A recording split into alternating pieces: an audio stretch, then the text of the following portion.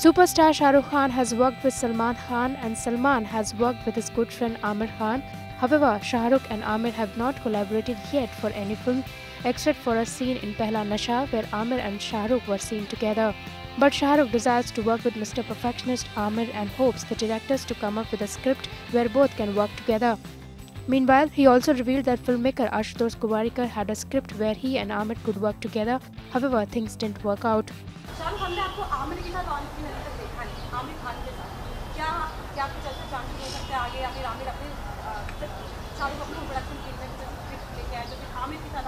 I think मैं तो अपने लिए भी स्क्रिप्ट नहीं I think, डायरेक्टर को लानी पड़ेगी आई थिंक लास्ट टाइम जो हमारी एक स्क्रिप्ट आशुतोष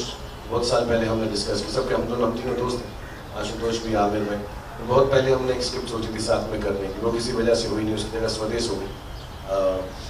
फिर वक्त नहीं मिला, लेकिन कोई डायरेक्टर हो जिनके पास ऐसा रोल हो, जिसमें हम दोनों काम कर सके तो बहुत अच्छा होगा। हम खुद बनाए, वो नहीं होगा I think to sit down and think of a story for two actors no but if there is a director who has two hero film क्योंकि अच्छा रहेगा, अगर हम एक फ़िल्म करें साथ में। इतने सालों से साथ में काम कर रहे हैं, दोस्ती है, जानते हैं, और लोग ऐसे ही कॉम्पिटिशन करते रहते हैं। तो इट विल बी नाइस कि अगर हम एक साथ में फ़िल्म करें।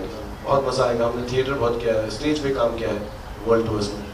वैसे भी मिल के बहुत डिस्कस करते हैं चीज़ें। It will be nice if there is a director producer who can uh, who can make a film write a film for both of us and झेलो द स्ट्रेस ऑफ़ कि कौन बेहतर है मीडिया कहेगा आमिर ने रोल कटा दिया शाहरुख ने उसको एडिट कर दिया और वो सब चलेगा।